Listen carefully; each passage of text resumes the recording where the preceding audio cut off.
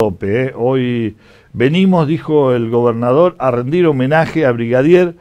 Por su ejemplo, sus sueños siguen teniendo vigencia y aún pueden inspirarnos para eh, enfrentar los desafíos de lograr un país verdaderamente federal. Esto dijo el gobernador en el acto por el fallecimiento de Stanislao López. Vamos a la nota. Como se dijo aquí, el brigadier Stanislao López fue un, un caudillo, un líder, un líder político y militar, como eran los líderes de aquellos años, un caudillo arquetípico, tenaz, defensor de la causa federal. Fue gobernador de Santa Fe desde 1818 hasta su muerte por más de 20 años. Estudió, como se dijo aquí también, en la escuela del convento de San Francisco, aquí a, a pocos metros. Pero ya cuando tenía 15 años se retiró, partió hacia las fronteras del norte para ingresar en el cuerpo de Blandengues, para iniciar su carrera militar. Era un hombre ágil con la lanza y diestro con el caballo, y adquirió en esos años la astucia y el arte de la guerra, el arte de las montoneras, que aplicó después durante su extensa carrera militar. Al estallar la Revolución de Mayo, fue uno de los primeros en alistarse voluntariamente en la, en la compañía de Blandengues que el gobierno había dispuesto para sumarse a la expedición del Paraguay. Y allí combatió con Belgrano, en Campichuelo, en Paraguarí, y fue hecho prisionero de los españoles en Tacuarí. Fue gobernador de Santa Fe a partir del 14 de julio de 1818 en virtud de una revolución, una revuelta contra el gobernador Vera. Y desde entonces inició una tenaz actividad por la afirmación de la autonomía federal de Santa Fe. Y López obró como un hombre de su tiempo, como un líder de su tiempo, lo decía bien el profesor Damianovich, con la lanza en una mano, pero con la constitución en la otra, defendiendo con las armas la autonomía de la provincia, pero al mismo tiempo promoviendo la educación, el desarrollo de la economía, la idea de un país y de una provincia organizadas a través de una constitución. Era un caudillo con una visión de estadista, con una visión de futuro. No es verdad que la civilización estaba en Buenos Aires y la barbarie en el interior, todo lo contrario. La tarea y la impronta de Stanislao López como gobernador de Santa Fe nos dejan claramente la idea de un hombre que pensaba el futuro, que interpretaba las señales de sus tiempos y que quería llevar a su provincia y al resto de las provincias de la Confederación a un futuro de progreso y de desarrollo. Por eso nos enorgullece recordarlo, rendirle honores en este acto, saber que somos a la distancia sus herederos y tratar de inspirarnos en su impronta, en su legado, en su inclaudicable defensa del federalismo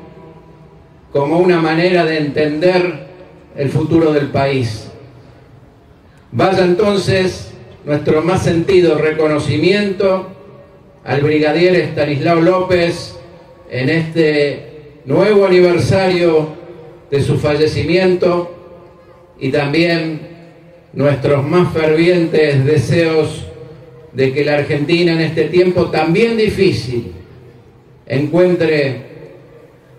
el camino del progreso en paz, el camino de la unidad nacional y encuentre también un proyecto de futuro que necesariamente, como lo quería López, tendrá que ser federal.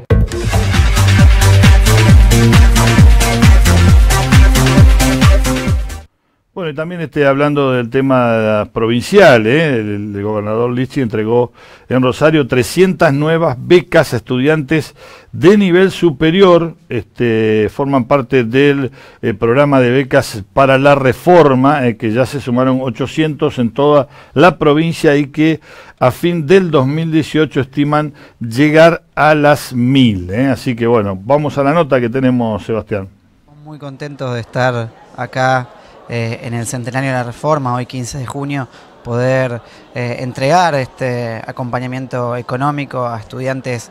eh, conocidos como del interior, porque son para aquellos estudiantes que vienen a más de 40 kilómetros de distancia de su lugar de, estudio, que ya tienen una carga extra, que, es la que tienen que trasladarse para poder estudiar, y de esta manera achicamos esa brecha y esas dificultades para fortalecer de alguna manera la educación pública, también habla de un gobierno provincial que se compromete con la educación superior, donde muchas veces la responsabilidad recae más eh, en, los gobiernos nacionales. En el gobierno nacional eh, habla de un gobierno que se solidariza, que entiende la educación pública como una política de Estado, como una, un compromiso de, todos los niveles del Estado y por eso eh, hace este reconocimiento, primero a la reforma universitaria, por eso se llaman becas de la reforma, y este reconocimiento y acompañamiento económico a estos miles de estudiantes de, de la provincia de Santa Fe que cuentan con este acompañamiento económico de 1.800 pesos mensuales durante 10 meses para que puedan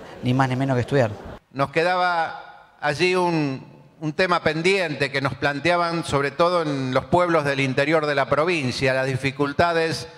que encontraban muchas familias de origen humilde, familias trabajadoras, de escasos recursos, para lograr que sus hijos, que habían terminado el colegio secundario, pudieran seguir estudios universitarios, porque eso implicaba para los que viven en el interior la necesidad de desplazarse hacia Rosario, hacia Santa Fe, hacia Rafaela, hacia alguna de las ciudades que son sedes de las universidades nacionales y también todo lo que eso conlleva de gastos adicionales para un joven que tiene que viajar todos los días o bien radicarse en una ciudad que no es la SUS. Por eso surgió esta iniciativa de las becas para la reforma, con la idea de poder darle también un apoyo, que sabemos no es suficiente, no es este, eh, eh, lo que va a resolver definitivamente el problema, pero es una ayuda que puede acompañar el esfuerzo de la familia para que muchos de ustedes puedan llegar